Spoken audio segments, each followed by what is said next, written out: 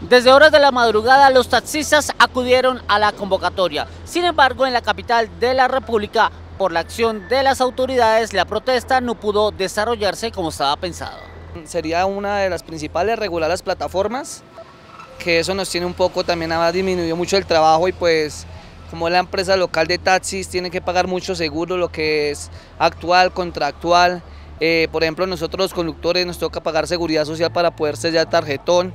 Entonces todo eso, lo otro sería la gasolina, regular un poco los precios de la gasolina para el servicio público como tal taxi, porque eso también nos afecta a nosotros, que los repuestos subieron de precio, entonces el patrón lo que hace es subirle la cota 1, que la gasolina que suben la cota 1. Ellos también tienen familia, ellos también tienen que trabajar, ellos también tienen que pagar una cota alimentaria, tienen que pagar servicios, tienen que pagar todo, pero pero a nosotros no nos influye eso, que, que, que, que, regulen todo como nosotros pagamos y listo, no hay ningún inconveniente.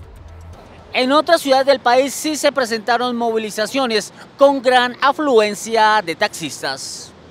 En otras ciudades como Cali, Medellín, Villavicencio, Cartagena, Cúcuta, Montería, Pereira, Manizales, Armenia, Bucaramanga, Ibagué, Pasto, Tunja, Cincelejo, Yopal y Neiva se presentaron planes Tortuga y bloqueos, incluso con enfrentamientos con la fuerza pública. El gobierno nacional le respondió a los taxistas que en el territorio nacional sí hay voluntad de diálogo y los llamó de nuevo a la mesa de negociaciones.